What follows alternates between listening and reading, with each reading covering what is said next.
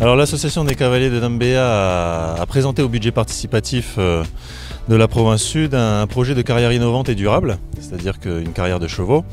Et donc euh, c'est une carrière plus souple pour le passage des chevaux, plus souple quand il y a un cavalier qui tombe. Donc euh, pour, le cavalier et le cheval c'est bénéfique. Et puis également pour l'environnement puisque bah, ça permet de moins arroser, il n'y a pas de poussière qui est soulevée. Et en arrosement on utilise, on consomme moins d'eau. Alors ils ont eu beaucoup de chance avec beaucoup de bienveillance. Je dis qu'ils ont eu beaucoup de chance puisque les fonds ont été versés avant le 13 mai. Beaucoup d'associations qui portaient des projets euh, qui étaient en cours et pour lesquels les fonds n'avaient pas été versés n'ont pas pu euh, aboutir leur projet du coup de ce fait. Euh, donc cette association a eu beaucoup de chance et, merci à eux de porter ces, projets-là qui vont permettre aux cavaliers aux jeunes de, faire de l'équitation dans, dans, un meilleur cadre. Ah oui, en effet, on est vraiment très très très content d'avoir euh, eu déjà d'avoir été lauréat et euh, c'est vrai qu'on a euh, eu la chance de signer tout en début d'année, ce qui nous a permis d'avoir les financements dès le mois d'avril.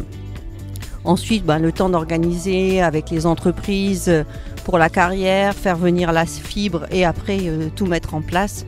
Ça a fait que bon, on a eu ça que maintenant, mais c'est vrai qu'on est vraiment chanceux et on sait que sans, ce euh, budget participatif, on n'aurait pas pu y arriver. Euh, franchement, c'est super agréable.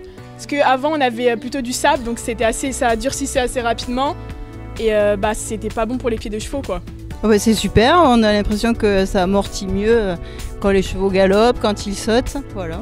Les chevaux, bah, ce sont les pieds, hein, c'est eux, qui ont toute la pression on va dire, notamment en saut d'obstacles et tout ça. Donc le confort de nos animaux, c'est notre priorité.